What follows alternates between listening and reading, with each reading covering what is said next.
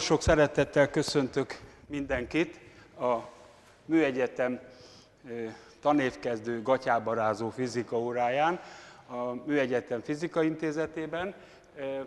Leg fogom kapcsolni az elején a villanyt, csak mert hogy készültünk két képpel, amit szeretnénk megmutatni.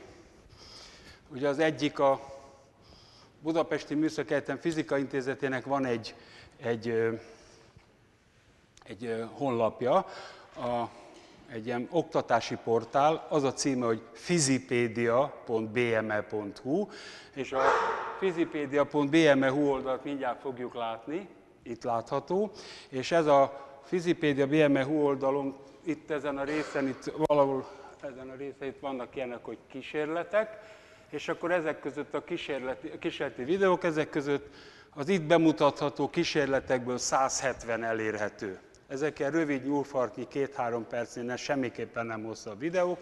A középiskolai oktatáshoz is ö, elég jó kapcsolódni, tehát tudom javasolni. Maga a cím, hogy Fizipédia BMEHU, a Wikipédiára hajaz egy kicsit, hogy ilyen pestiesen szabad mondani. Itt annyit azért el szeretnék mondani, hogy addig, amíg a, a Wikipédia mindenki által szerkeszthető, a Fizipédia az csak a Műegyetem Fizikai Intézetének néhány dolgozója számára megengedett a változtatást, tehát akkor ez, ez, ebbe lehet bízni ebben a dologban. Ugye elég hosszú időszakon vagyunk túl, már majdnem két éve, vagy valahogy elkörül 18 hónapja nem tartottam előadást, úgyhogy nagyon örülök, hogy itt lehettek, és ennyien eljöttetek. Annyit szeretnék elmondani, hogy avval próbálom megtisztelni ezt az előadást, hogy szeretnék megmutatni egy olyan kísérletet, amit itt most mutatok be először. Ez egy olyan kísérlet, ami elsősorban a műegyetem számára készült, tehát nem, nem középiskolai törzsanyag, de a kollégák fogják látni, hogy, hogy azért ez talán középiskolában, főleg az emelt szintű, képzé, emelt szintű érettségére készülésnél segíthet. Maga az eszköz, az itt látható, el is mondom, hogy mi az, amit látunk. Itt van egy forgózsámoly. Egyébként ebben a székben majd fogunk kísérletezni, és ez a forgózsámoly a perdület megmaradás tételének bemutatására szolgál úgy egyébként. De erre a forgózsámolyra különböző dolgokat én felszereltem, rögtön mutatom is. Elsőként szeretnék megmutatni egy ilyen pisztolyfúrót, és ebbe bele van téve egy ilyen korong, és ez a korong ez meg is forgatható. Én egy ilyen fészket építettem ide, tehát ebben a fészekben kellesen jól el lesz, és hát gyakorlatilag ez lesz az egyik.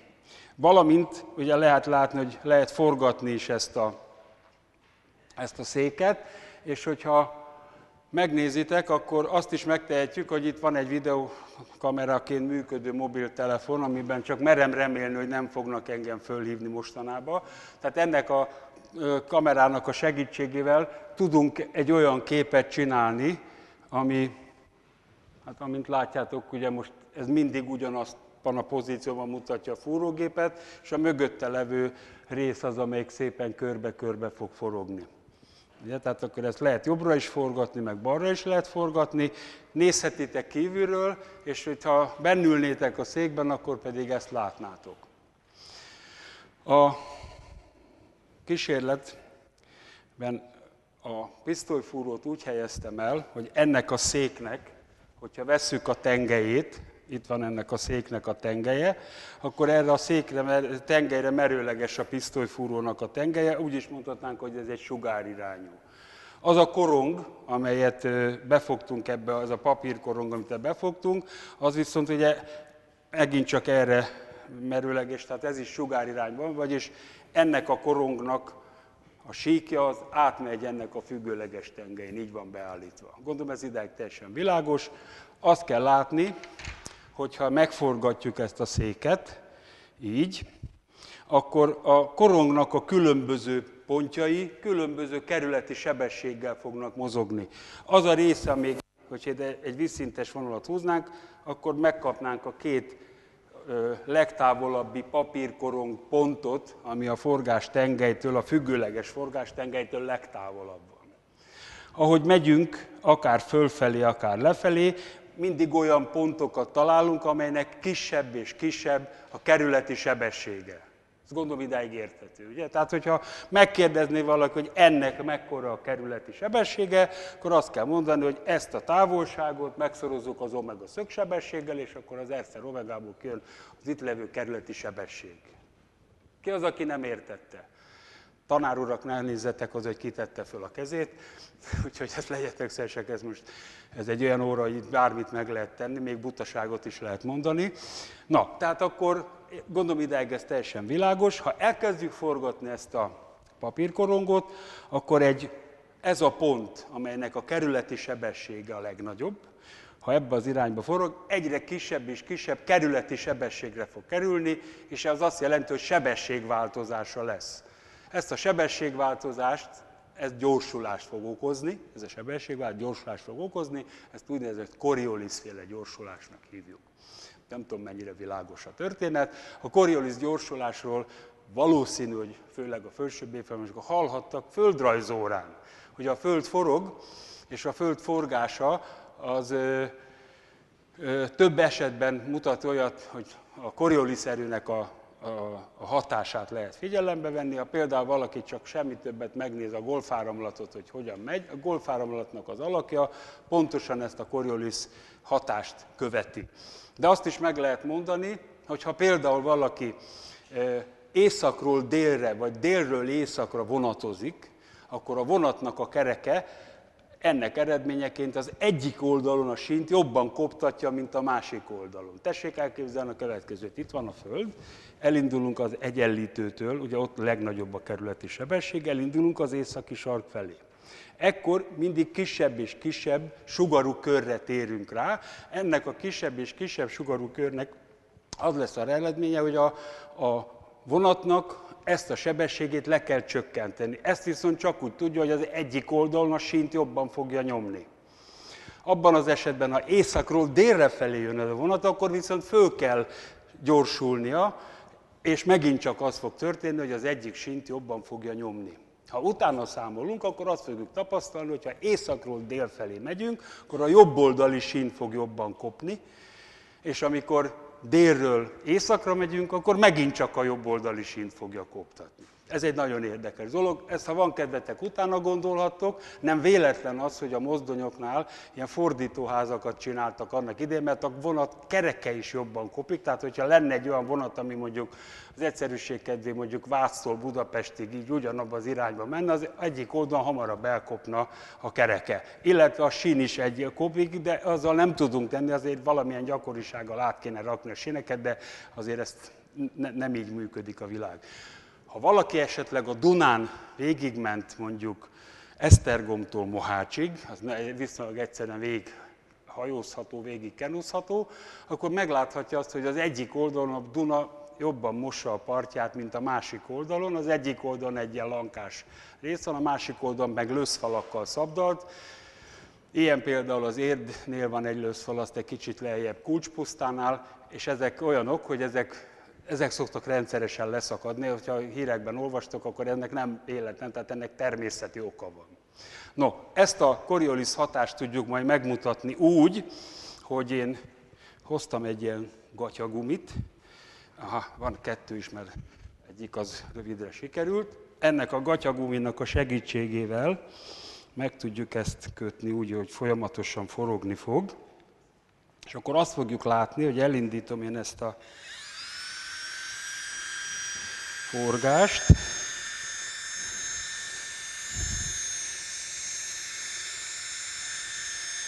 Akkor azt mindenki láthatja, itt a kamerának a képéből, hogy egy síkban leveg ez a, ez a korong, és ha én elkezdem megforgatni, akkor szerintem mindenki látja, hogy az egyik része előre hajol, a másik része pedig hátra, ilyen S alak írható föl,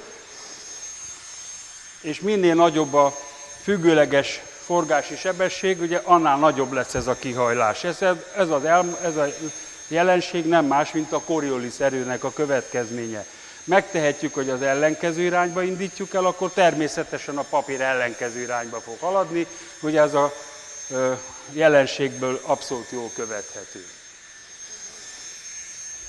Hát ha megállítjuk, akkor ez a hatás ez megy, mert ugye a székünk, ha nem forog, akkor az a Coriolis-erő nincs. Megmutatom még egyszer egyik irányba, és utána megmutathatjuk a másik irányba is.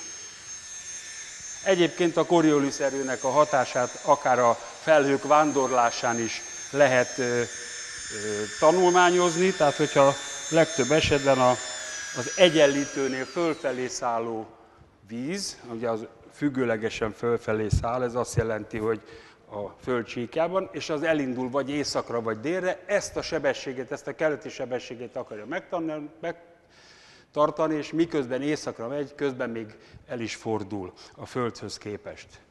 No, hát akkor ezt a kísérleti eszközt én most lebontom. Ez egy ilyen ősbemutató volt, és ezt akkor csak azért akartam egy pillanat alatt, mert igen, most már megnyugodtam, ugyanis kikapcsoltam, hogy már nem tudnak engem hívni. Jó. Ö, majd ezzel az eszközzel még fogunk egy kicsit kísérletezni, mármint ezzel a forgózékkel. Éppen ezért ezeket most itt szépen lebontom, és akkor a következőkben egy olyan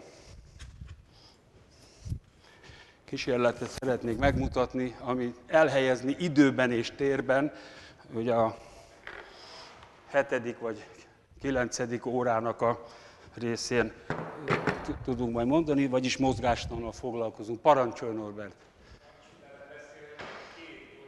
Hát az a helyzet, hogy abban az esetben, ha ide jössz és a hangot halljuk mindannyian. Tehát akkor, de mivel hogy videófelvétel készül, és akkor a, a, egyezzünk meg abban, hogy ide jössz te is, hogy mindenki lásson, mert előbb-utóbb Sarkadi Tamás ránk fog szólni. Most azt szeretném nyomatékosítani, hogy az erő, az itt a tehetetlenségi erő, tehát ez egy fiktív erő, ez egy erőérzet, tehát ez nem kölcsönhatásból származik, ez egy nagyon fontos. A másik, hogy nem sejpít a tanár úr, sokáig Coriolinak tanultam és mondtam, de felvilágosítottak a franciák bennünket, hogy Coriolis. Oké, okay. jó, oké. Okay. Uh, miközben én ezt itt lebontogatom, addig el fogom mondani, hogy mivel hogy most már nem nagyon fogunk vetíteni oda, nem sok értelme van, hogy sötétben üljünk, tehát most akkor csinálunk egy kis világosságot, ez a kamerának is jót tesz, a képernyőnek, és akkor, bocsánat, ennek a lába úgy van megcsinálva, hogy egy ilyen tűn áll, és hogyha így odébb tolnám, akkor felszántanánk vele a tantermet, azt viszont nem szokták szeretni.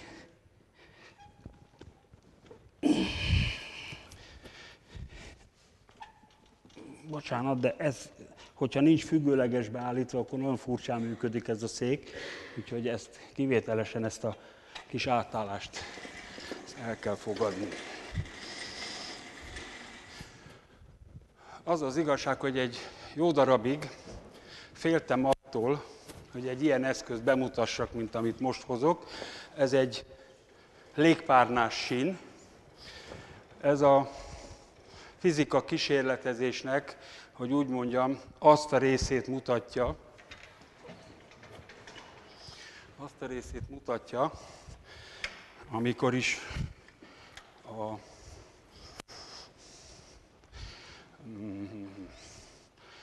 Bocsánat, még egy hosszabbítót kell hoznunk.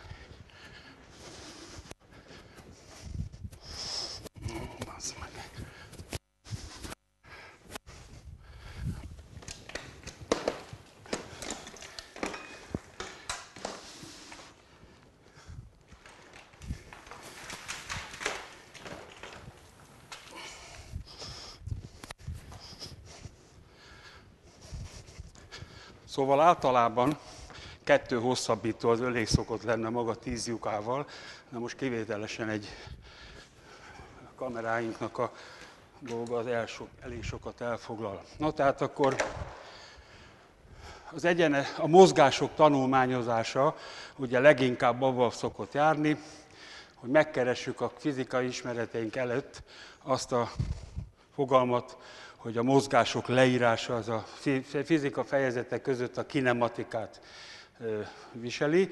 Itt három dologra vagyunk mindösszesen kíváncsiak.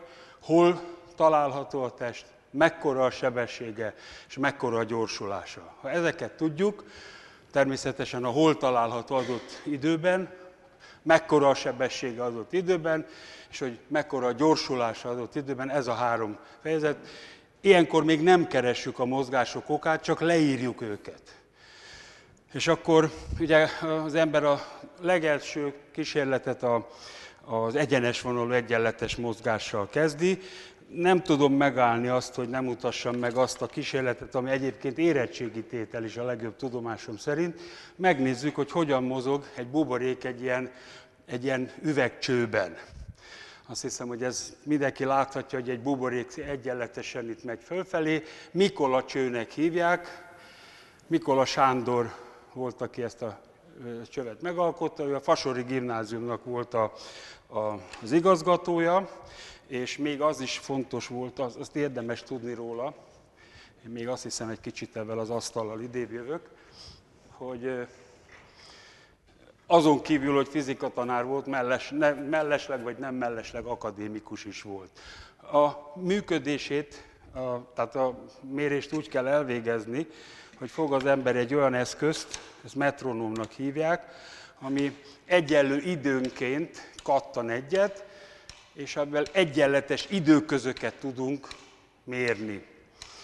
A következőkben itt van a buborék, itt van egy alkoholos filc, és amikor én ezt átbillentem, akkor a buborék ebből a pontból abba az irányba fog menni. A csövünk egyenes, tehát ha valaki így belenéz, akkor azt lehet mondani, hogy a pálya egyenes, és hogy aztán a mozgás egyenletes, az majd akkor derül ki, azt meg is mérjük. Egy, kettő, három, négy, öt, hat. Itt a vége a hatodik. Tehát elvégeztük a mérést, elvégeztük a mérést, most már csak a mérést ki kell értékelni.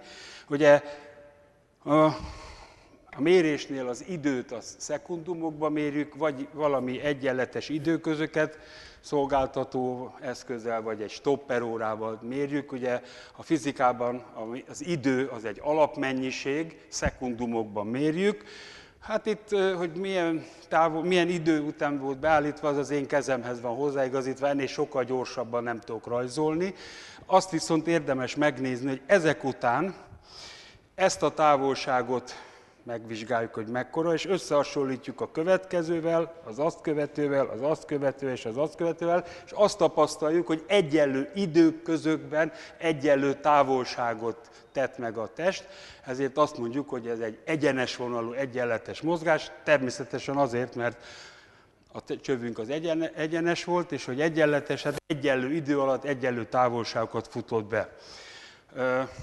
Természetesen nem minden mozgás egyenletes, úgy is mondhatnánk, hogy nagyon nehéz ilyen egyenletes mozgást csinálni. Még azt meg lehet tenni, hogy megbírálhatjuk ezt a mérést, és mondhatjuk, hogy hát ennek a mérésnek bizony nagyon sok buktatója van. Ebből a legnagyobb buktató az én magam vagyok, mert hogy hát ügyetlen vagyok. Nem tudok szépen rajzolni. Remeg a kezem, főleg, ha olyan sokan néznek. És akkor ha akarjuk, akkor csak pénzkérdése, hogy hogyan tudjuk ezt a mérést precízebbé tenni.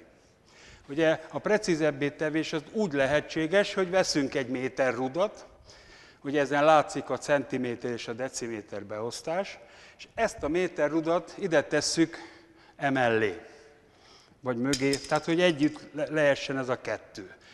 És akkor azt mondom, hogy im itt van a mozgás, és akkor azt mondom Tamásnak, hogy kedves Tamás, indítsd el a videót, de nehogy elindítsál bármit, indítsd el a videót, és vegyük föl ezt a mozgást. És akkor ez azt jelenti, hogy az a videókamera másodpercenként 25 vagy 50, attól függően, hogy van beállítva, képet fog csinálni, és egy kockánként megvizsgáljuk, hogy honnan, hova jutott el a, a, a, a buborék.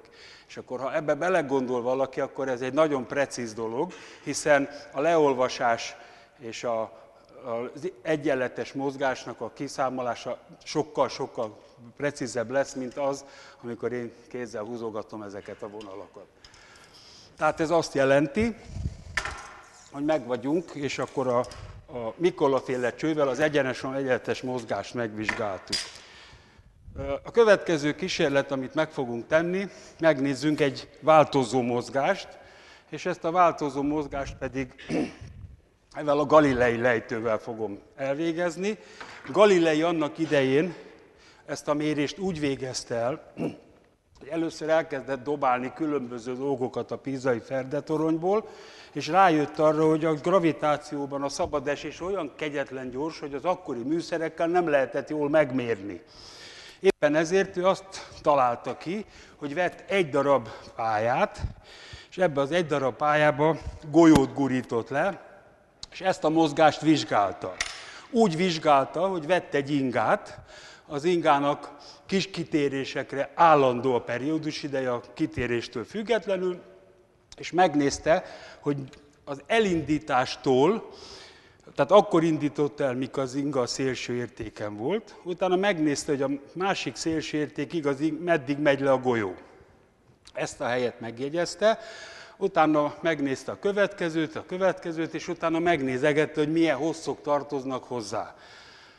Ez egy babra munka. Ha valakinek van kedve, megkereshet egy filmet Galilei életéről, magyarul azt hiszem talán nincs meg, de angolul és oroszul az fönt van még talán az interneten is.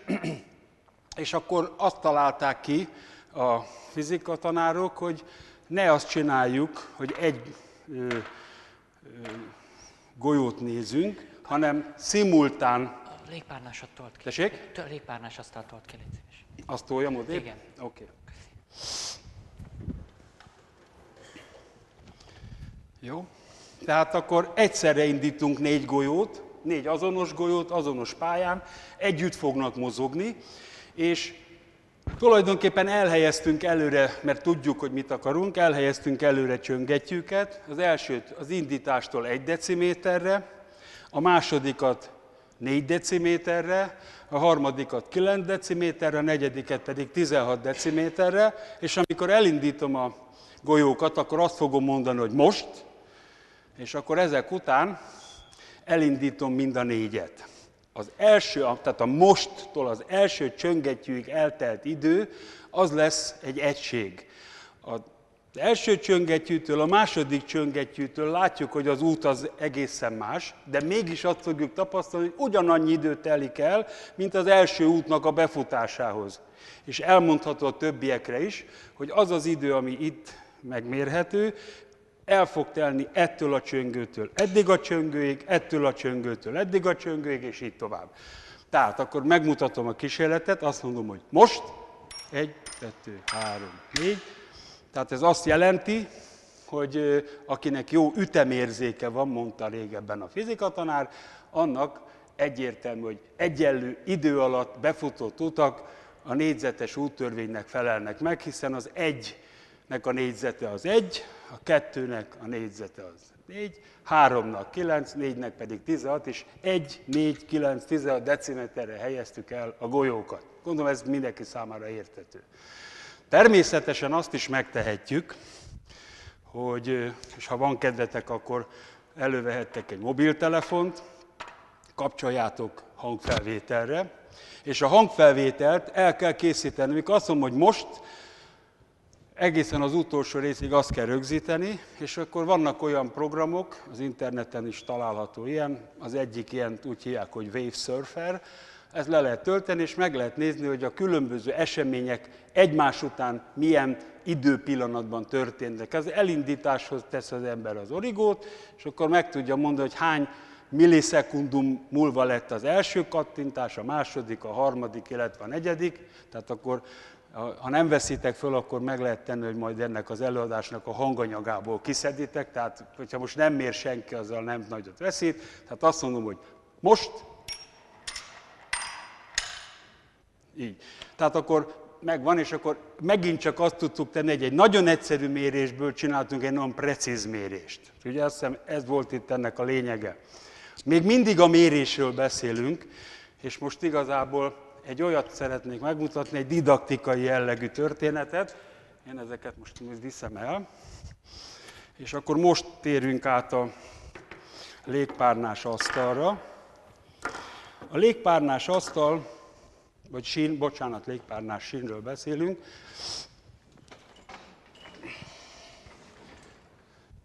az itt látható. Mutatom a különböző legfontosabb tudnivalókat róla. Itt van egy befúvó szerkezet, ezt, hogyha az ember fogja, akkor hm, igen, áram nélkül még nekem sem megy, pedig már dolgoztam rajta elég sokat. Így. Igen. Itt nagy mennyiségű levegőt fúj be ez a szerkezet. Ennek a légpárnás sínnek van egy téglalap alakú felső része, ezen meg annyi kis apró lyukacska van, és amikor ezeket a lyukacskákat áramlik kifele a levegő, képes arra, hogy megemeli ezt a kiskocsit, és akkor amit érdemes megnézni, a kiskocsit én meglököm, és viszonylag rövid úton meg is fog állni. Ezen persze senki nem csodálkozik, hát ismerjük valamennyire a surlódást, tehát tulajdonképpen azt is lehet mondani, hogy, hogy a környezete megállítja. Így is fogalmazhatunk. Most azt fogom tenni, hogy bekapcsolom csak ezt a légbefúvót, és önmagától elindul. Ez azért van, mert az egyik fele az magasabb. Mindjárt meg is fogjuk tudni mutatni, hogyha én ezt lejjebb sűjeztem, akkor be lehet azt állítani, be lehet azt állítani, hogy a kiskocsi nem, hogy nem indul el, igen, kicsit tovább megyünk, most ebbe az irányba szammog egy kicsit, még egy picit állítunk, és akkor azt mondjuk, hogy most teljesen vízszintes a, a sinünk. Ha meglököm, csak egy egész kicsit, érdemes megnézni, hogy eszébe se jut megállni ennek, hanem egyenes vonalú egyenletes mozgással megy, mondhatjuk ezt jó közelítéssel. Azt is meg lehet mutatni, hogyha elindítjuk, és mindkét végén ilyen rugalmas ütköző van, akkor bizony nagyon hosszú táv megtétele után sem látjuk azt, hogy lelassult volna ez az eszköz. Azt hiszem, hogy ez jól látszik. Tehát a, itt most abba az irányba megyünk el, hogy a mozgást próbáljuk mennél precízebbre beállítani. Azt kell mondjam, hogy a légpárnára való tevés az látszik, hogy drasztikusan lető, le, lecsökkentette a surlódást. Annyit még elmondanék, aki rendszer, egy kicsit figyelmesebben megnézi ezt a légpárnás sint, akkor azt is láthatja, hogy 1, 2, 3, 4, 5, 6, 7 helyen alá van csavarokkal támasztva, és mindig állítható, tehát még a saját súlyától való görbületet sem ö, ö, kell figyelembe venni, hiszen ez precízen be van állítva. Csak úgy elmesélem, csak úgy elmesélem, mint egy jó történetet. Volt itt egy vendégprofesszor az Egyesült Államokból, aki kettő órát arra szánt, hogy különböző módon megmérve itt a mozgásnak a sebességét, megállapította, hogy ez a középső, ez 3 mm-rel magasabb volt. Ez sokat kellett mérni és számolni, ugyanis nem csak a pályára kell gondolni, hanem azt is, hogy hogyan fogunk távolságot mérni. Ennek az eszköznek van egy olyan lehetősége, mindjárt meg is mutatom, hogy van egy ö, hozzávaló nagy feszültségű jelgenerátor. Ez azt jelenti, hogy 5, 10 vagy 50 Hz-es szaporossággal 8 kV-os szikrákat tud készíteni, ami azt jelenti, hogy ennek a kocsinak a tetejére egy ilyen szikraírót lehet rátenni, ide tesszük az egyik polaritást, ide a másikat, és tulajdonképpen ez a szikra csúcs egy ilyen fekete pöttyöt fog azon a helyen hagyni, ahol éppen a szikra keletkezett. Itt van a szikraíró papír, és hát, hogyha meggondoljuk, hogy innentől odáig elmegy valamekkora sebességgel, mondjuk akkorával, mint itt, és mondjuk csak 10 Hz-es frekvenciával járatjuk ezt a szikraírót, akkor több száz méretű mérési pontunk van, és akkor ezeknek a pontoknak ő nem sajnálta, hozott tolómérőt, tolómérővel egyenként megmérte a közöket, és ebből ki tudta számolni, hogy ez így görbe. Nem egy mérésből, hanem több mérésből, úgy is mondhatnánk, egy úgynevezett szisztematikus hibát hozott elő. Jó, most azt fogjuk csinálni, hogy van egy másik lehetőség, és ezt itt a kollégákkal közösen dolgoztuk ki. Erre a kiskocsira egy 10 mm szélességű zászlót tettünk föl. Ez a zászló, amiközben halad, hát adott esetben a fénynek útját szegheti. hogy hogy is kerül a fény az asztalra. Hát itt van egy, kettő, három, négy darab ö, légpárnás asztal fölött ez a négy darab ilyen optokapu, amely ezred szekundum pontossággal meg tudja mérni azt az időt, amíg ez a egy centiméter szélességű zászló kitakarja. Tehát ez azt jelenti, hogy bekapcsoljuk. Én azt szeretném mondani, hogy van-e valaki, aki segít nekem, csak annyit, hogy én nem akarnám, hogy a Tamás onnan most kamerával idejöjjön, segítene leolvasni ennek a négy időkapunak. Megteszed? Tedd már, hogy odaállsz arra felére, oda légy szíves, jó? És akkor innen fogod látni a kapukat, azt lehet látni, hogy fejjel lefelé vannak, tehát ez most éppen nullát mutat mind a négy, tehát lenullázzuk ezeket a kapukat. És hogyha ide teszem az ujjamat, akkor azt lehet látni, hogy elkezd számolni, és amikor kiveszem, akkor pont a kitakarási időt. Tehát oda létszes bólintani, én tudom, hogy így működik, tehát ő nekik, tehát ő most a be, tehát mellett megegyeztünk tegnap előtt, hogy jó pénzért azt fogja mondani, amit én szeretnék hallani.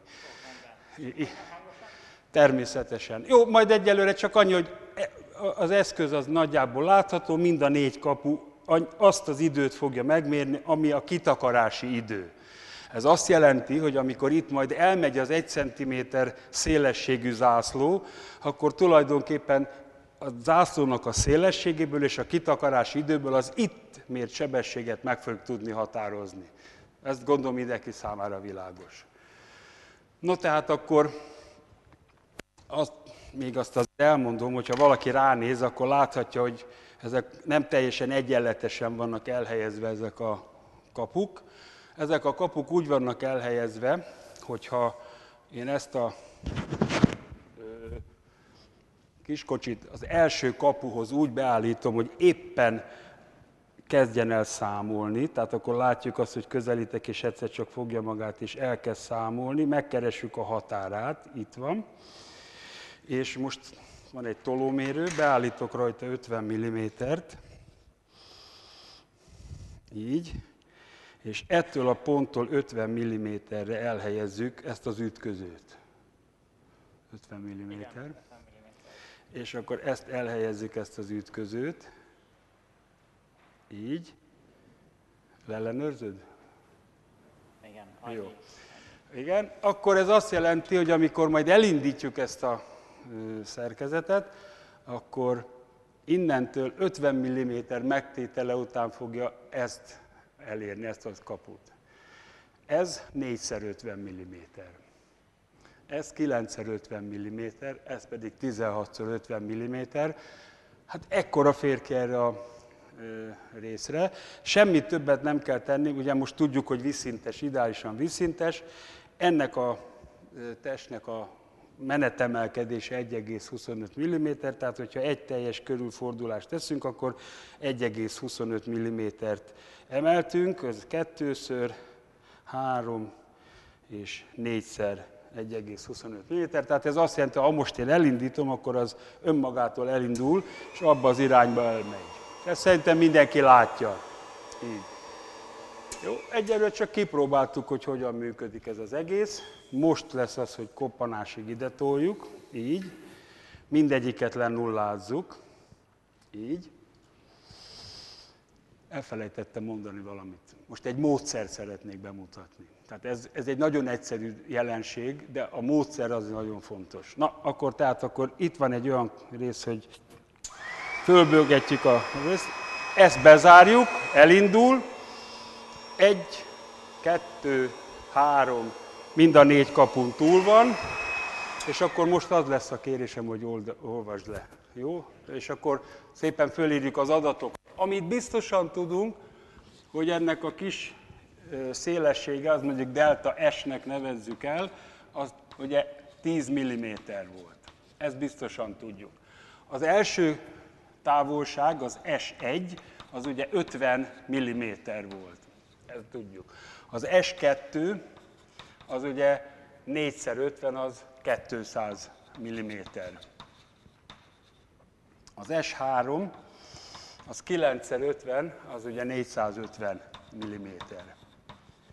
Így. Az S4, az pedig az éppen 800 mm. Így is van. Akkor az, itt, a kitakarási idők azok lesznek a delta t delta T1, és akkor most létszeres leolvasni az elsőt. 0,144 ezred szekundum. A delta T2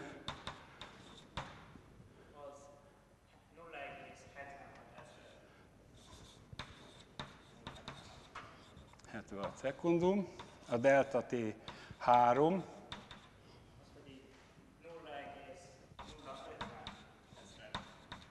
így, és a delta T4 0,038 ezeret szekundum. Jó, akkor meg vagyunk a méréssel, ha gondolod, akkor foglalj helyet. Köszönöm a segítséget. Na most, ezek után a fizikában ugye az első dolog a megfigyelés, a második az pedig nem más, mint hogy fogjuk magunkat és tudatosan fölidézzük a megfigyelésünket, és ezt kísérletnek hívjuk. A kísérletek között pedig illik mérni. Megtörtént a mérés, mértünk hosszúságot, mértünk távolságot, ennek eredményeként ki tudunk dolgokat számolni. Ha nagyon akarjuk, akkor ide ki tudjuk számolni a V1-et, a V2-t, a V3-at és a V4-et, ami körülbelül ezen a környéken egy átlagsebesség. Azt azért mindenki láthatja és tudhatja. Most az a kérdés, hogy hogyan fogjuk ezt kiértékelni. Hát a kiértékeléshez általában úgy is mondhatnánk, hogy szerencsés, ha vizualizálunk, vagyis egy diagramot fogunk csinálni, azt már látjuk, hogy amit kiszámoltunk, hogy az nem más, mint a V-sebesség, amit még tudunk, az nem más, mint ez a S távolság, és akkor, hogyha valaki esetleg ebben a dologban már egy picit elmélyült, akkor tudhatja, hogy ezek az adatok, ezek nagyjából egy ilyen másodfokú függvényt fognak tenni. Ezt szerintem mindenki tudja, esetleg a kilencedikesek meg a hetedikesek még nem tudják, mert azok most fognak ebben nem sokára találkozni. És akkor ugye itt kapunk majd valamilyen parabola jellegű görbét, meghúzzuk a pontokat, nagyjából összekötjük, és akkor annak az eldöntése, hogy ez tényleg parabola, az nem egy egyszerű történet. Azt hiszem ebben megegyezhetünk, hiszen a parabolát azt úgy sacper kb. még a jó szemmek is csak azt mondják, hogy nagyjából illik egy parabolára. De hogy ez egy kicsit nagyobb vagy kisebb, hát ezen már ugye lehet vitatkozni. És én azt mondom, hogy vegyünk észre valamit, ami egy kicsit matematika, és egyébként meg a módszerek, a fizika módszereiben rendszeresen ott van. Sajnos nem hagytam itt helyet, de majd ide fogom kitenni, és hogy mindenki számára ez legyen, akkor ezt megtehetjük, hogy ugye azt mondtuk, hogy a sebességet szeretnénk a távolság függvényében megtenni. Ehelyett én azt mondom, hogy nézzük meg, mi lenne a távolságnak a négyzetgyökét tennénk ide. Távolságnak a négyzetgyökét tesszük ide, akkor azt jelenti, hogy először is ki kell számolni mindegyik távolságnak a négyzetgyökét. Az 50-nek a négyzetgyöke az 7,07 pontosan. A 200-nak az pedig 14,14. A 450-nek 21,21, a 800-nak pedig 28,28. Ezt azért tudom, mert már elég régóta gyakorlom ezt a gyökvonást, tehát ezt már meg is lehet jegyezni. És akkor ez azt jelenti, hogy ha ezeket az ábrák, ezeket az értékeket fölrakjuk, akkor én azt mondom, hogy húzok egy ekkora távolságot, és azt mondom, hogy egy, kettő, három, négy. És akkor ugye itt nem más van, mint a négyzetgyök 50. 50, itt van a négyzetgyök 200, itt a négyzetgyök 450, és a négyzetgyök 800. Úgy. Ezek után nem maradt más hátra, mint hogy kisámoljuk ennek és ennek a segítségével a sebességeket, ezeket szépen ide berakjuk, és utána összekötjük a pontokat, és kapunk egy origon átmenő egyenest. Ez a lényeg a dolgoknak. Nem tudom, mennyire világos, azon viszont már nem kell vitatkozni, hogy egyenes vagy nem egyenes. Fogja az ember, elővesz egy valami szerkezetet, és megnézi, hogy tényleg rajta van az egyenesen, vagy nincs rajta az egyenesen. Az egyenes, egyébként csak úgy mondom, hogy ha majd valaki eljön ide a műegyetemre, akkor van egy jó pár olyan mérnöki tudomány, ahol ilyen exponenciális függvényekkel dolgoznak, azoknak az ábrázolása egyrészt papírméret miatt sem nagyon működik, másik részről pedig, ha ügyesen választjuk meg ezt a részt, hogy itt ezzel mit csinálunk a két, a két ábrázolandó értéken, akkor kaphatunk egy egyenest. És az egyenes az viszont nagyon sok mindent elmond nekünk, hogy az igazolja rögtön azt a dolgot. Én nem állok most ennek neki kiszámolni, mert még van egy csomó kísérlet, és az időnk meg szalad előre, de azt hiszem mindenki megteheti azt, hogy ezeket az értékeket kiszámolja, ide be kell rakni a V1, V2, stb. stb. és meg fogjátok látni, hogy egy egyenes jön ki. Ha nem jön ki az egyenes, akkor az még mindig azt ellentatjuk, hogy azért ezeknek az eszközöknek van egy pontossága, és hát így igazából a fizikában a hibáknak a kezelése is egy feladat. Szerintem mindenki érti ezt a jelenséget. Én ezt mindenképpen úgy gondoltam, hogy ezt a kísérletet ezzel a mutatóval didaktikusan szeretném megmutatni, mert hogy a fizikának vannak módszerei. Én tudom, hogy ez tőlem egy kicsit szokatlanul, hogy is mondjam, tanárosra sikeredett, de ezt higgyétek el, hogy tudatosan készültem erre. Most pedig egy-két kísérlettel szeretném befejezni az órát, még van bőségesen. Az első, amiben szeretném, hogyha esetleg valaki közületek is vállalkozna arra, hogy itt vannak ezek a műanyagból elkészített alkatrészek. Ugye ez egy kocka, amiben egy furat található, ez egy henger, aminek a tetején van egy kúp, és ez ugyanaz, csak éppen ellenkezőben. Én ezt a két hengeres tárgyat ide beteszem, és az lenne a feladat, hogy annélkül, hogy hozzányúlnátok, tehát így nem is lehet ezt megfogni, mert úgy van megválasztva a kópszög, hogy kicsúszik az ember kezéből, hogyan lehet ezt innen kivenni. Hát szerintem igen, ha valaki van, valakinek van kedve, akkor igen. Az lenne a kérésem, hogy elmondod, hogy honnan jöttél, melyik kiskából hogy hívnak, és akkor elmondod, hogy igen. Igen. Na, hát akkor lássuk. Szerintem bele kell fújni. Igen. Csak Mibe kell belefújni? Hát a, a, itt van egy kis rés, a fudat és a, Igen. a kúp között. Az a Igen. Jó, e- e- idáig még semmi. Úgy van. Az a helyzet, hogy amit mondasz, az majdnem jó. Tehát úgy értem, hogy az eszköz működik, de nem ezért ugrik ki. Ez benne az izgalmas. Ugye Bernoulli törvényéről beszélünk, és Bernoulli törvénye azt mondja ki, hogy az áramló közeg, ahol áramlik, be tudod fejezni a mondatot? Várjál, van egy nagyon jó viccem, ezt el kell mondjam. Tanár úr, kérem, én csak a felét tudom a Newton törvénynek. Hm? Ez körülbelül ott tartunk, hogy elmondjuk az elejét. Na, megvan a, a vicc? Nincs meg? Hát a Newton törvény az úgy hangzik, hogy.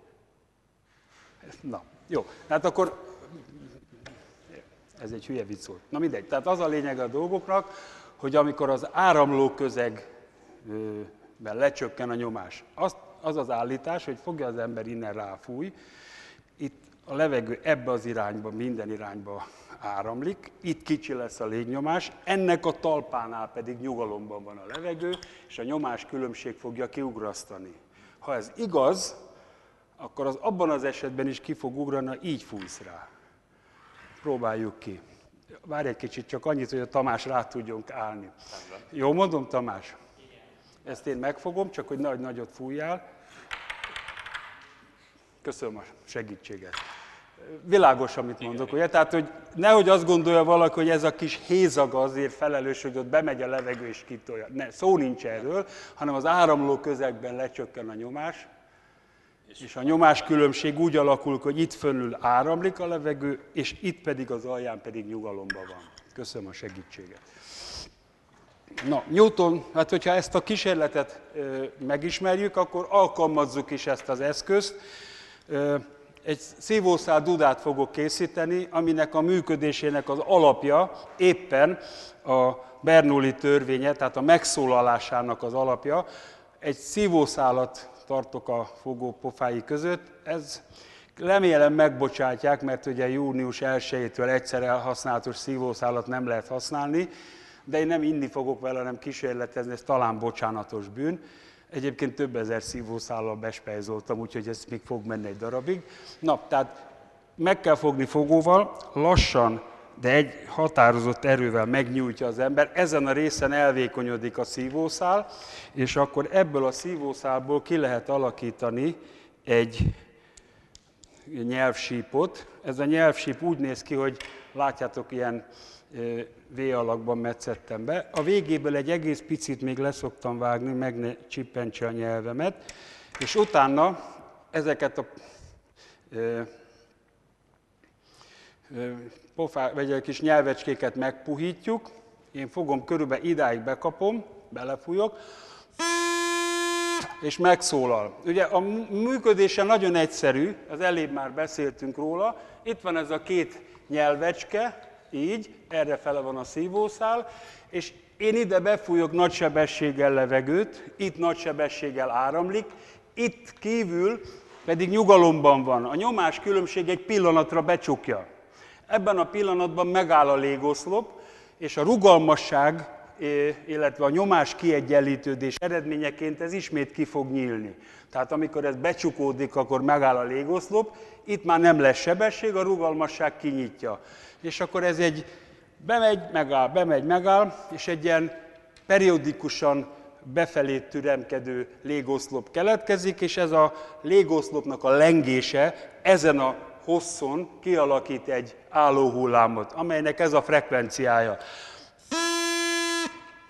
Ugye elhangzott az a mondat, hogy ezen a hosszon alakul ki az állóhullám. Ha én fogom, és ezt az állóhullámnak a terét rövidítem,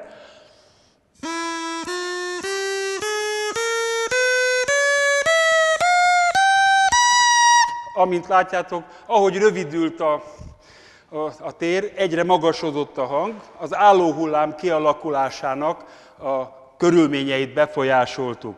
Azt kell látni, hogy ez a rezgéskeltő rész, ez, ez mindig végig ugyanavval a szaporasággal mozgott, körülbelül az időnek a felé nyitva van, a másik felét meg be van csukva.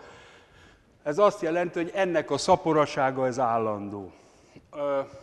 Most, hogyha meg akarná az ember nagyon erősen magyarázni, mondjuk egyetemi szinten, akkor azt kéne mondani, hogy ehhez lehetne írni egy olyat, hogy fele időben nyitva van, fele időben zárva, hogyha ezt egy diagramban ábrázolnánk, akkor azt mondhatnánk, hogy egy ilyen négyszög függvény írja ezt le, és akkor ennek a négyszög függvénynek a segítségével meg tudjuk mondani, hogy négyszöget hogyan lehet színuszokból összerakni. Ez, persze ezt felejtsétek el, mert ez, ez több, mint hajmeresztő középiskolában, és akkor azt lehet mondani, hogy ezekhez a tehát végtelen sok színusznak az összegezéséből fog kijönni, és mindegyik hozhoz tartozik majd egy olyan, ami föl fog erősödni. Nem tudom, mennyire világos, de minden esetre azt lehet mondani, hogy a, a szívószál dudának a fizikája az, hogy itt periódikusan beáramlik, megáll, beáramlik, megáll a levegő, ezen a hosszon egy lengés alakul ki, és akkor ennek a lengésnek a frekvenciája attól függ, hogy milyen hosszú ez a szívószálnak a, a, a, a hossza.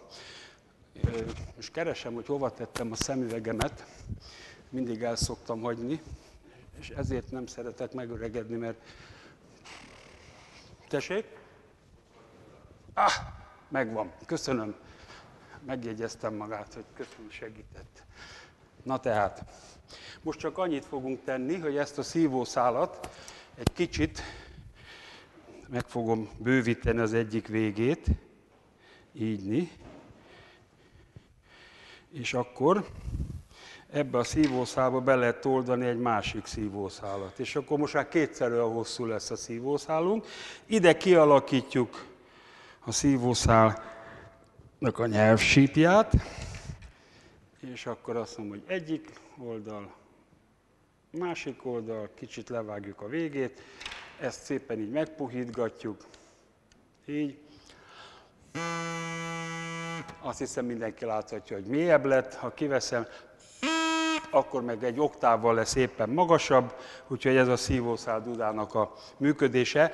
Ilyenkor még el szoktam mondani, hogyha valakinek van kedve, és ez egy veszélyes történet innentől, mert olyat ajánlok, ami tényleg veszedelmes, elővesz egy fizikakönyvet, akkor ott megtalálja két végén nyitott sípnak mondjuk a lelki világát leíró képletet, az azt fogja megmondani, hogy ha szeretnénk ebből csinálni egy egyoktávos sípot, akkor le kell mérni ennek pont a közepét, és akkor ide a közepére, tehát itt van körülbelül a közepe, közepére csinálunk egy lyukat. Így. Ez így megvan. Itt van a lyuk. Már két hangú az szívószálunk, ha valaki utána mér, akkor pontosan egy oktával lesz magasabb, és hogyha a többi lyukra is kíváncsiak vagyunk, tehát a két oktáv között, hogy a különböző frekvenciákat, amik zenei hangoknak felelnek, a do, re, mi, fa, szóláti dót kell kihozni, akkor megfelelő helyen ki kell vágni. Ezt persze most én csak itt Schatzper kb. csinálom, de fogjátok látni, hogy ha jó helyre vágja az ember, akkor do, pardon, nem jó helyen fogtam be, Na, hogyha ezt az ember folytatja, mondjuk éjjel kettő és három között, a szomszédhoz közeleső részen, akkor továbbadja azt a tudást, hogy hogyan lehet szívószából zenei hangszert csinálni. Természetesen, hogyha az ember haragszik a szomszédjára, akkor nem ilyen vékony, gyönge szívószállal kísérletezik, hanem lehet egy kicsit nagyobbal is kísérletezni. Itt van ilyen lefolyó cső. Ha ilyet kerestek, akkor a konyhaszekrényt kinyitjátok, a mosogató alatt ott pont lehet találni ilyen csövet. Kell hozzá még egy léggömb, ez a léggömböt a legvégét kivágtam, tehát itt ezt a részét levágtam. Ebbe a részbe beleteszünk egy ilyen csövecskét, ilyet is lehet talán a falból a villanyvezetéknek a csöve az pont ilyen méretű. Ezt szépen így bezárjuk, tehát akkor szerintem mindenki jól láthatja, hogy így néz ki. Ezt erősen rászorítja az ember, ide fúj, és akkor itt teljességgel lezárult ez a rész. Ha belefújok, pillanatokon belül egy szürkolói dudát lehet csinálni. Akinek nem tetszik ez a frekvencia, annak tudom javasolni, egy hosszabbat tegyem és akkor már jóval mélyebb lesz. Ha valakinek mániája az, hogy minél hangosabb legyen, akkor azt is lehet, hogy kicsit nagyobb csövet keresünk, és akkor ennek a nagyobb csőnek a fölszerelése az nem is van egyszerű, tehát ezt ide szépen rátesszük, Szerintem jól lehet látni azt, és közelebb jövök azért, Tamás jól meg tudja mutatni, amit szeretnék, ennél ugyanis nagyon jól fog látszani, hogy ugye először is ez teljesen le van zárva. Amikor belefújok, akkor itt kialakul egy piciny nagy sebességgel áramlik a levegő, és a nagy sebességgel áramló levegőben lecsökken a nyomás. Itt ez a tetején, itt áll a levegő, és az oda be fogja zárni. És itt is kialakul ez a periodicitás,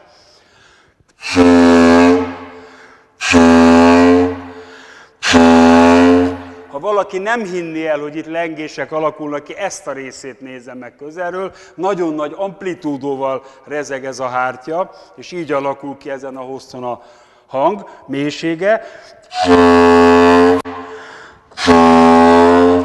meg kell, hogy mondjam, van ettől egy nagyobb átmérő és hosszabb csövem, csak ahhoz már nagyon sok levegő kell, az alig lehet megfújni, tehát ahhoz már inkább egy kompresszor kell, mint az emberi tüdő. Ugye láttuk azt, hogy hogyan lehet rezgést kelteni, hangot kelteni, és hát az a helyzet, hogy megpróbálhatjuk azt is, hogy nem levegő, a légnemű közegben, hanem szilárd közegben próbálunk meg rezgéseket kelteni. A szilárd közegben a rezgéskeltés az úgy történik, hogy keres az ember egy, hát ez egy szép alumínium rúd, és ennek az alumínium rúdnak megkeressük a közepét. Körülbelül ezen a részen, így, ez könnyű megtalálni, van hozzá egy fizikai elv, és akkor, hogyha ezt ezen a részen megcsiklandozzuk, akkor elkezdik kínjába vonyítani. Hogy pontosan hogyan, meg hogy miképpen, ahhoz annyit kell, hogy van egy varázspor, ez a varázsportól lesz csiklandós ez a pálca. Figyeljétek meg, megkeressük a közepét. Jó. És így itt van a hang. Szerintem mindenki hallja jól, abba is lehet hagyatni. Egyébként ahhoz, hogy ez megszólaljon először, meg is kéne érteni magát a módszert, hogy hogyan keltünk rezgést. A rezgés keltésének az a módszere, hogy van egy olyan körülmény, hogy ami az ujjamon van varázspor, Egyébként ez fenyőgyanta, mielőtt bárki félreérti a dolgokat. Fenyőgyanta. A fenyőgyantánk van egy tulajdonsága, a tapadási és a csúszási, surlódási együttható nagyon különbözik egymástól. Ezért amikor az ujjamat végighúzom rajta, akkor úgynevezett akadó surlódás jön létre, idegen szóval stick, slip lép fel. Ez azt jelenti, hogy megcsúszik, megáll, megcsúszik, megáll, megcsúszik, megáll, és így tudunk egy longitudinális hullámot kelteni ezen a pálcán. Tehát ez azt jelenti, hogy az ujjammal megfogom, meghúzom, és akkor ennek eredményeként ki fog alakulni egy longitudinális hullám. Azt kell tudni, hogy ahol az ujjammal fogom, ott egy csomópont keletkezik, és a csomóponttól, ha távolodunk, minden egyes alkatré, vagy részecskére elmondhatjuk, hogy egy ilyen irányú rezgés alakul ki, tenge irányú az a rezgés, és hát gyakorlatilag, hogy eljutunk a végére, ennek lesz a legnagyobb amplitudója. A másik irányba megyünk éppen úgy van, úgy alakul ki a hullám, hogy a két vége az vagy egymás felé, vagy egymástól távolodva rezeg, tehát a két ö, fél hullámot, tehát bocsánat, két negyed hullámot elválasztó résznél ellenkező fázisban fognak rezegni a részek. Tehát akkor azt hiszem, ezt mindenki hallhatja. Természetesen megtehetjük azt is, hogy az állóhullámoknak egy nagyobb frekvenciájú tartományát fogjuk megválasztani. Ez azt jelenti, hogy ugye itt egy negyed hullám, meg egy másik negyed hullám volt. Ha ki tudjuk azt találni, azt méretre igen, tehát megfogom én mondjuk itt. Jó. És akkor egy oktával magasabb hangon fog megszólalni. Így a rezgés úgy alakul ki, hogy innentől van egy negyed hullám, aztán van egy fél hullám és egy negyed hullám. Tehát azt hiszem mindenki jól láthatja. Egyébként megmutatom, hogy én itt egy esztergával bejelöltem egy kis részt, hogy ne kelljen küzdenem vele. Tehát a, ez fontos, egyébként nagyon érzékeny a kísérlet arra, hogy hol van a csomópont. Olyannyira érzékeny, hogy itt is van egy, és ha minden igaz, és ezt a, jól sikerül beállítani, akkor meg fogjuk hallani a következő állóhullámnak a frekvenciáját. Pillanat. Ez az akadó surlódás, ez tényleg sok mindent meg tud csinálni. Azért nézlek benneteket, mert én ezt a frekvenciát már nem hallom. De ti arcotokon látom, hogy megszólalt a pálca, tehát lehetett hallani, hogy az alapfrekvencia duplája és háromszorosára, háromszorosa került elő. Azt még azért úgy emlékeztetőül, hogy ehhez a 750 mm-es pálcához ez az alaphang, és hogyha egy 500 mm-es pálcát keresünk, annak az alaphangja éppen a hosszával egy, a, a, a, arányosan meg fog magasodni. Tehát itt is meg tudjuk mutatni azt, amikor én a szívószálat rövidebbre vágtam, ugye itt két külön hosszúságú pálcával kísérleteztünk. Ígértem, hogy a forgószékkel még visszatérünk, ezért aztán hozom a forgószéket. Ebben egy olyan kísérletet szeretnék megmutatni, ami a perdület megmaradásával foglalkozik, és akkor ehhez egy picit átrendezzük a terepet. Kéne nekem valaki, aki elvállalja, hogy egy kicsit kísérletezik velem. Jössz? Hát, hogyha már úgyis itt vagy, akkor miért nem? Kicsit a tornaórára is fog ez emlékeztetni ez a kísérletezés. Foglalj helyet itt a székben. Az lenne a kérésem, hogy amennyire tudod, csúszál itt egészen hátra. És mielőtt nekilátunk a kísérletezésnek, megnézzük, hogy mennyire sikerült függőlegesbe maradni. Ugyanis ha nem függőleges a tengely, akkor hülyeségek is kijöhetnek a kísérletezésbe, ez egészen jóra sikerült, úgyhogy meg is vagyok elégedve dolgokkal. Háromszor 120 fokba elengedjük, Jó. Mekkora súlyt tudsz így megtartani oldalsó középtartásba? Tegyek rá erre, vagy még inkább vegyek le belőle? Hát az lenne a feladat, hogy egy oldalsó középtartásban így meg kéne tartani. Tegyek rá, vagy vegyek le belőle? Próbáld meg. Megy? Jó. Ve- vegyek le? Inkább vegyünk Jó, le. vegyünk le persze. Jó. Az a helyzet, hogy ez így jó. Jó. De hát, hogyha nem jó, akkor visszarakjuk, tehát ez sem eddig nem tart.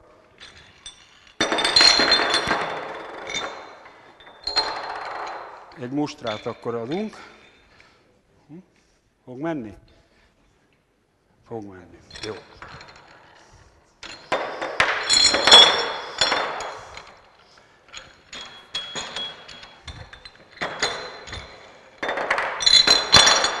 Oké. Okay. Elmondom, mit kell majd csinálni. Tedd meg, hogy előre, egyelőre még a súlyzónig nem kell. Nyújts ki a lábadat előre, úgy, és akkor szépen megyünk egy kört, megnézzük, hogy nem akad bele sehová. Szuper. Jó. Most jön az, hogy adom a súlyzót, és akkor azt kéne csinálni, hogy oldalsó középtartásba tenni a súlyzót, kinyújtani a lábadat, és akkor én fogom, szép lassan elkezdelek megforgatni. Jó. Megvan a szögsebessége. Kérlek, a lábadat és a súlyzót így húzd be. Úgy, úgy. Nyújts ki. Aztán megint húzd be. Aztán megint nyújts ki. Úgy. Szerintem mindenki látta a jelenséget. Most meg foglak állítani, ne akarjál azonnal kiszállni, jó? Hanem először, ha, ha véletlenül jönne föl az ebéd, akkor szóljál, jó? Na, tehát akkor ugye a kísérlet miről szólt? A kísérlet arról szólt, hogy ő, mi a keresztneved? Farkas, egy zsombor. Zsombor. Mondhatom, hogy Zsombi? Mondhatjuk, jó. Tehát Zsombi oldalsó középtartásba tette a két súlyzót, ez azt jelenti, hogy a forgástengelytől a lehető legtávolabb helyzettel egy tömeget. Kinyújtotta a bokáit is előre, és ez azt jelenti, hogy ekkor adtunk neki egy omega szögsebességet. Amikor elkezdte a zsombi behúzni a lábát, meg behúzni a súlyzókat, akkor azt tapasztaltuk, hogy elkezdett a szögsebesség növekedni. Így volt. Elég rossz volt egy darab. Láttam, hogy megijedt egy kicsit, de nem baj, ez, ez, számítottam rá, de de, de azért mégiscsak. Így van. Na jó, tehát az a lényeg a dolgoknak, hogy megváltozott valami, és az a megváltozás, ugye közelebb kerültek a forgás középponthoz a tömegek, és ennek eredményeként a szögsebesség elkezdett növekedni. Egy valami viszont állandó volt, ez pedig a perdület. Én most túl sokat nem mondanék a perdületről, de maradjunk annyiban, hogy a középiskolában vannak tanáraitok, fizika tanárok, nyugodtan forduljatok hozzájuk, egyébként valószínű az év során ez elő is fog jönni, és ha már a perdületnél maradunk, ez egy megmaradó mennyiség, hasonló a lendülethez, csak forgómozgásokra, ez- ezért az lehet, hogy megköveznének, na mindegy, maradjunk annyiba, hogy a perdület megmaradásával kapcsolatos volt ez a kísérlet. Maradj még itt, van egy másik kínzó eszközöm is, most ez fog következni. Ezzel a kínzó eszközzel Eh, Ez egy biciklikerék. Ez a biciklikerék nem akármilyen. Ha megmutatom neked, akkor itt nem fölfújt gumit találunk, hanem. Drótokat. Így van, megmutatjuk a kamerának is, hogy ide erre a biciklikerékre, ide a külső részére drótot tekertek. Ez azt jelenti, hogy az a tömeg, amit ide fölraktak, a forgás középponttól a lehető legtávolabb igyekeztek elhelyezni. Azt fogjuk csinálni, hogy ezt a madzagot, ez majd később majd fog kelleni, megfogod, így, nyújts ki a jó. Akkor most az lenne a kérésem, hogy függőlegesbe állíts fel ezt a kereket, vagy a tengelyt. Úgy. Jó, forgassuk át a másik irányba. Úgy, igen. És egy párszor forgasd át, légy szíves. Úgy. Mindenki látja, hogy mi történik. Jó? Most a zsombikám vízszintesbe tegyük. Úgy. És akkor én ezt megpörgetem. Úgy. Na most pörg, csináld meg ugyanezt még. Függőlegen, tessék úgy tartani. Jó, vízszintes, másik irány. Kezdi élvezni. Mi? Hát olyan jó, hogy ebben fogsz álmodni, de figyelj. Na, akkor most tulajdonképpen most már beszélhetünk egy kicsit a perdülettel kapcsolatosan. Tartsad, jó? Na most, azt lehet látni, hogy ez a biciklikerék, ez forog. Amikor nem forgott, akkor nem, nem volt ez az esemény. Azt kell mondjam, hogy van egy olyan fizikai mennyiség, ami a tehetetlenségi nyomaték és a szögsebességnek a szorzatával áll elő, ez a perdület. Mindjárt mutatom. Tehát, ha én ezt ebbe az irányba megpörgetem, akkor abba az irányba fog mutatni a perdület. Ha ez a perdület így viszintes, és elkezdi az ember így megbillenteni, akkor a perdület megváltozik, lesz egy függőleges irányú komponense, és ennek eredményeként kezdezte forogni vagy jobbra, vagy balra. Ilyen egyszerű a dolog. Megnézzük még egyszer? Tessék. Csak azért, mert a fizika kísérletekről el szeretném mondani, hogy amit nem lehet megismételni, nem tartozik a fizika körébe. Tessenek belegondolni ebbe, hogy a fizika az egy objektív tudomány, mindenki számára egyformán ugyanazt az eredményt adja. Az ember elmegy, megvesz egy tolómérőt, és megmér egy eszközt, az mindenkinek ugyanaz a tolómérő ugyanazt az értéket fogja mutatni. Ha egy voltmérővel csináljuk el, ugyanazt fogja mutatni mindenkinek. Ez azt is jelenti, hogy ha véletlenül valaki találkozik egy olyan mérőeszközzel, amire azt mondja valaki, hogy ez csak az én kezembe mutatja, hogy hol kell kutat fúrni például, az nem a fizika témaköre. Az bármi lehet, de nem tudomány, lehet ezotériának mondani, meg bármiféle pénzkereseti lehetőségnek, de nem tudomány, nem fizika. Jó? Tehát, igen. Úgy. Úgy. Egyébként ez a kísérlet a fizipédián fönt van. Jó. Oké. Köszönöm a segítséget. Foglal helyet. Jó? A következő kísérletet azt én fogom bemutatni, mert ez egy kicsivel több gyakorlat kell. Megint csak a perdület megmaradásáról szól a helyzet. Én bejövök ide a székbe egy helyben áll a biciklikerék, a lábammal megállítottam a forgást, és én fogom elkezdem így ebbe az irányba pörgetni. A perdületem folyamatosan állandó, de a keréknek a perdülete, meg ennek az egésznek a perdülete együttesen adja ki a nullát. Ha én ezt megállítom, akkor meg is fog állni. Így. Ilyen egyszerű ez a történet. Természetesen a surlódás, a csapátsurlódás a kezemben, a surlódás miatt azért ez nem teljesen jön ki, de a perdület megmaradás törvény az egyébként igaz. A perdület egyébként egy nagyon izgalmas történet, van erre egy másik jó kísérlet, és ezt szeretném megmutatni.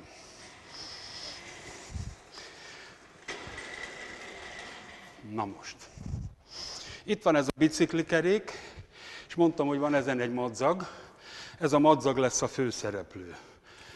Ebből az állapotából elengedem a biciklikereket, és a biciklikerék a lengések lecsillapodása után úgy fog elhelyezkedni, hogy ez a madzag ez pontosan átmegy a tömeg középpontján. A tömeg középpontját keresünk, az körülbelül ezen a részen található szimetria okokból be lehet látni, hogy itt van. Ugye az alátámasztási pont alá fog kerülni a tömegközéppont, és az egy függőleges egyenest fog adni. Na most, ha megpörgetjük ezt a biciklikereket, és ismét fölfüggesztjük, akkor ez mindez nem történik meg. Hanem úgynevezett precesszáló mozgást fog végezni. Ezt az egész dolgot, hát ha valaki érdekel és szereti a matematikai tárgyalásmódot, akkor azt lehet mondani, hogy a biciklikerekünk ebbe az irányba forog, a tenge irányába mutat maga perdületvektor. Abban az esetben, hogyha talán itt mutatom, eznél az erőnél fogva az ember megemeli, akkor itt hat egy erő, itt az ellenerő, ez a két erőnek a távolsága az nem nulla, tehát egy forgatónyomaték fog hatni, és ennek a forgatónyomatéknak hatására ez így ebbe az irányba lebillen. Maga a forgatónyomaték az, az abba az irányba mutató nyomaték, vektor lesz. Maga a forgatónyomaték. A perdületvektorunk és a nyomatékvektorunk egymásra merőleges, kifeszít egy síkot meghatároznak egy síkot. Ugye ez az egyenes, ugye erre merőleges, ez meghatároz egy síkot. Erre a síkra lesz merőleges az ébredő fizikai mennyiség, a precesszálásnak a szögsebessége, és vele jobbsodrású rendszert alkot, tehát hogyha az abba az irányba, abban mutat, akkor a körbejárás iránya megfigyelhető. Így. Ha megfordítjuk a perdület irányát, és a nyomaték marad, ugye gravitációt nem kapcsolgatunk, az hülye vicc lenne. Tehát, hogyha megváltoztatjuk a perdület irányát, így, akkor a precesszálásnak az iránya is megváltozik. Egyébként, hogyha már az elébb ezt a mondatot elmondtam, hogy a gravitációt nem kapcsolgatjuk, itt volt Magyarországon, aki azt mondta, hogy ő ki tudja kapcsolni a gravitációt. Én egy dolgot tudok mondani, elgondolkodtam, hogyha ki tudná kapcsolni a gravitációt, én lennék az első, aki meggyilkolnám. Tessenek meggondolni, mi történne, kikapcsolnánk a Földön a gravitációt, mindenki elrepülne a Földről. Elsőként a gázok mennének el. Nem lenne egészséges, mondom, igen gyorsan kihalna a Föld. Végül, de nem utolsó sorban, még maradt egy kis kísérlet ebben a témában, és ez egy kicsit már bűvészkedés, meg a zsonglőrködés kategóriája. Van egy barátom, akitől kaptam egy ilyen gyakorló tányért, amivel a cirkuszi mutatványosok gyakorolnak még iskolába. És akkor szerintem jó meg lehet látni, hogy a perdület megmaradásáról beszélünk, hogy az ember ügyes, akkor meg tudja ezt így tenni, és akkor a perdület megmaradásának, meg, megmaradásának állandóságnak az elvét tudják ebben a mutatványban bemutatni. Szerintem nagyon szépen látszik, hogy amikor az ember mozgatja, akkor a perdülettel, ha az ember jó kezd hozzá, akkor viszonylag könnyű dolga van. Annyit azért szeretnék elmondani, hogy ezt a perdületet egyébként mindenki használja, aki csak egyszer dobott frisbee-vel. El lehet gondolni, mi van akkor, a frisbee-t úgy dobjuk el, hogy nem engedjük forogni próbáljátok ki. Abban az esetben, megpörgetjük, akkor a frisbee-nek a perdülete meg akar maradni, és akkor tud olyan szépen repülni. Egyébként, ha nem pörgetjük, akkor így bukdácsol, és nem is megy olyan messzire. Úgyhogy hát ugye a fizika tanulása az arra is jó, hogy az ember olyan dolgokat meg tud csinálni, ami mondjuk szórakoztatja őt. Na, akkor szerintem egy kicsit most tüzeskednék, hogyha egyetértetek vele. A legkedvesebb tüzes kísérletemmel fogjuk folytatni, a tűztornádóval. Ez a tűztornádó ez egy viszonylag bonyolult jelenség, de azért, hogy óvatosan fogalmazzak, azért középiskolában is tudunk róla mondani dolgokat. Itt van egy ilyen forgatóasztal, így mi. Ez láthatólag szépen meg lehet forgatni, és akkor nekem más már nem kell, csak egy kis gyufa, meg egy kis petróleum, így, és akkor gyújtsuk meg. Amikor én ezt meggyújtom, akkor rövid időn belül a petróleum föléled, és kialakul a láng. A lángnak a hossza körülbelül egy arasznyi, nem sokkal hosszabb. Ha megkérdezné valaki, hogy mitől is van az, hogy ilyen egy ekkora a lángnak a hossza, azt lehet mondani, hogy a lángban forró levegő vagy forró gáz keletkezik, és ez a forró gáz szeretne fölfele menni, de a fölötte levő hideg az útjába van és ezért aztán ennél nem lesz hosszabb ez a láng. Abban az esetben, hogyha el tudjuk, meg tudjuk kérni, mint egy rendőrt odállítunk, hogy a forró az álljon félre a hidegnek, akkor ez a dolog ez egy egészen más jelenséget fog mutatni. Itt van ez a szita, Öt két dolgot tud, egyik részről jól belelátunk, a másik részről pedig forgásával forgásba fogja hozni az ott levő gázt. És hogyha ezt forgásba hozzuk, akkor rövid időn belül ki fog alakulni a tűztornádó jelensége. Na most a jelenség nagyon egyszerű, ugyanis forgómozgás alakul ki, az azt jelenti, hogy vízszintes irányú gyorsulás is létrejön, és a vízszintes irányú gyorsulás sűrűség szerint rendezni fogja az ott lévő gázokat. A kisebb sűrűségek mennek középre, és az ott könnyedén tud felszállni, és a nagyobb sűrűségű az pedig ott megy kívül. Tehát gyakorlatilag ez nagyon egyszerű. Ha megállítjuk ezt a mozgást, pillanatokon belül visszáll az eredeti méretére a, a tűztornádónak ez a része.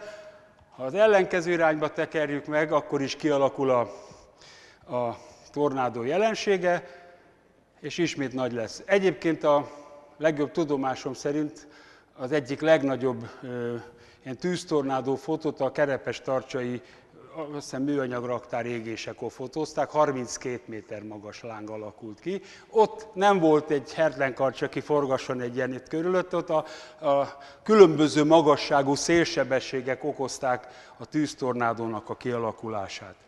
Na most az a helyzet, hogy ha most ezt már jó megértettük, és akkor ugye látjuk, hogy a tűztornádó kialakulásának az alapja nem más, mint hogy egy kör alakú mozgásban szeparálódnak a különböző sűrűségek. Ja, persze ezt el kéne oltani. Hát ezt úgy kell oltani, hogy mi kell az égéshez, éghető anyag, levegő és hőmérséklet. Ha bármelyiket megszüntetjük, akkor az égésnek annyi, tehát elvonjuk a levegőt, és akkor innentől fogva könnyű dolgunk van. Tehát azt kell látni, hogy amikor egy éghető anyag, egy folyadék elkezd égni, és ez jóval magasabb, mint a víznek a forráspontja, akkor tilos úgy megpróbálni eloltani, hogy beleöntünk vizet például. Az nem működik.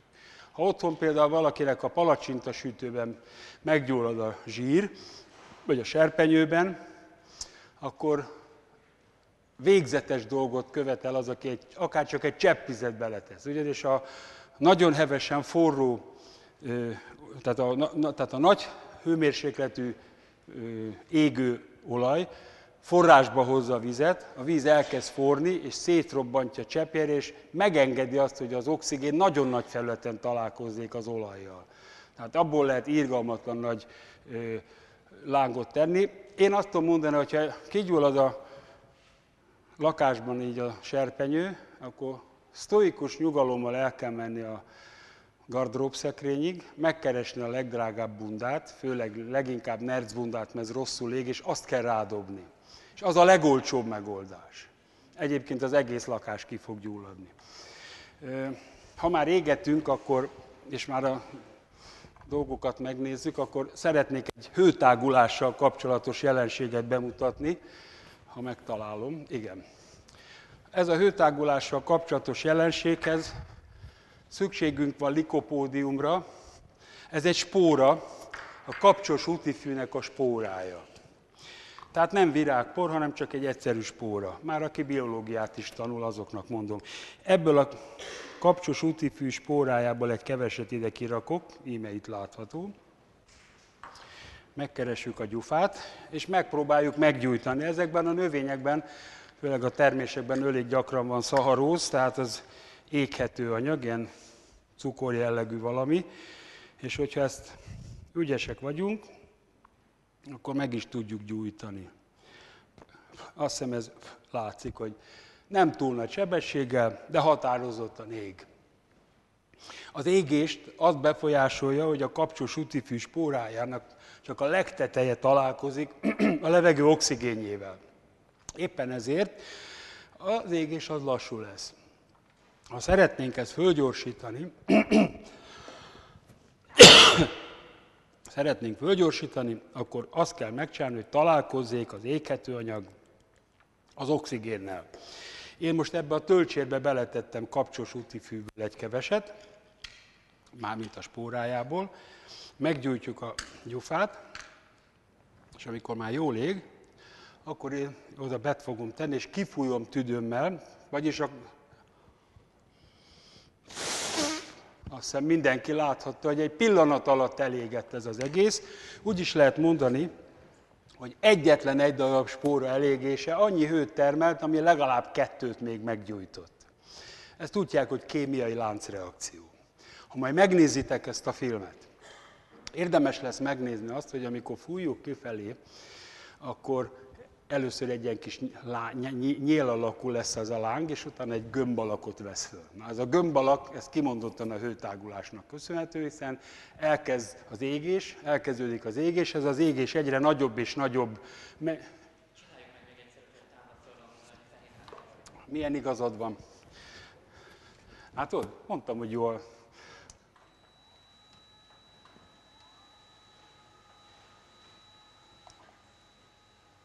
Oké, okay. így jó lesz? Itt a pirosnál megállunk.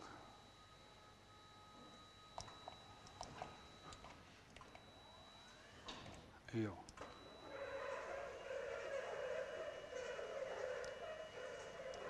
Úgy. Jó, megcsináljuk még egyszer.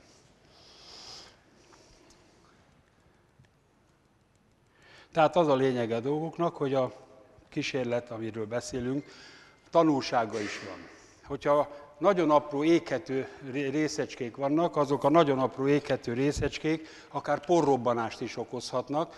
Elsődleges helyek a malmok, másodlagos helyek a, az ilyen fűrésztelepek, gyógyszergyárak, vegyüzemek, és most legújabban az autógyárak azokon a helyeken, ahol, ahol alumínium karosszériás autókat csinálnak, és azokat csiszolják. Az alumíniumpor az egy nagyon izgalmas anyag, mert maga az alumíniumról mindenki tudja, hogy nem rozsdásodik, teljesen passzív. De ez azért lesz passzív, mert az alumíniumnak az oxidja teljesen összefüggő réteget hoz létre, és az alatta levő oxidálást ez megállítja.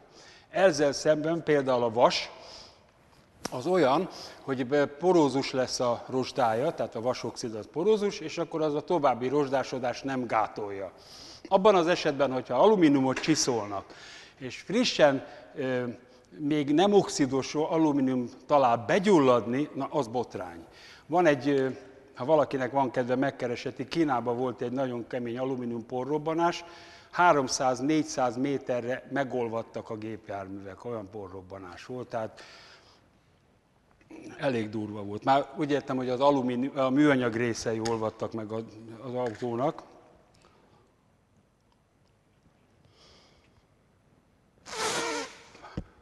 Úgy. Na jó, hát akkor ez volt a porrobbanás, és akkor végül én azt hiszem, hogy eljött az ideje, hogy elköszönjek. Egy olyan kísérletet szeretnék megmutatni, amihez kell kettő darab léggömb, és a két léggömböt először is úgy fogom megcsinálni, hogy egymásba fogom tolni. Itt van ez a fekete léggömb, ezt a fekete léggömböt becsempészük ennek az átlátszó léggömbnek a belsejébe. Ígyni.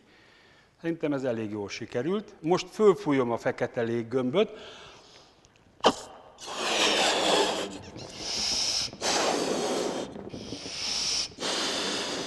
Így. És a fekete léggömböt meg is kötöm, hogy ne tudjon megszökni belőle a levegő. Majd ezek után a külső léggömböt lehet tovább fújni.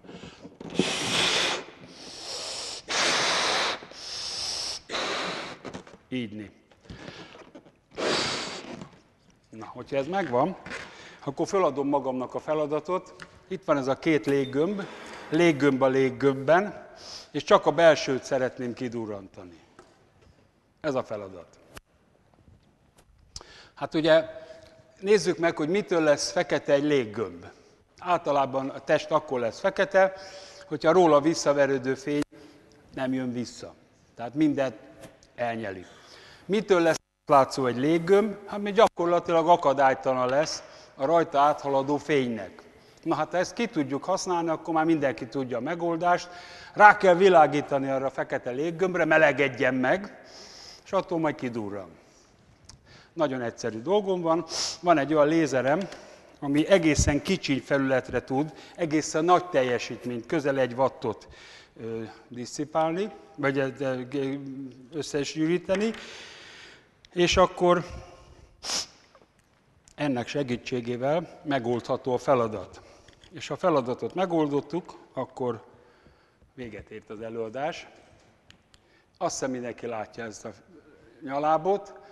Azt is meg lehet mutatni, hogyha lekapcsolom a nyaláb, vagy a fényt, hogy a itt ezeket a kis felvillanásokat, ezeket a kékes felvillanásokat nem más okozza, mint hogy a, a levegőnek a porszemcséi szóródik a kék fény. Ha ezzel a fényel megvilágítjuk a lézert, lézerrel a léggömböt, akkor el tudjuk érni, hogy a belső léggömb kidullan úgy, ahogy azt elterveztük. És akkor tulajdonképpen ebben a kísérletben azt szeretném mondani, hogy az ember megtanul dolgokat, és azt tudja használni, és akkor az olyan lesz a környezete, ami ennek ő szeretné.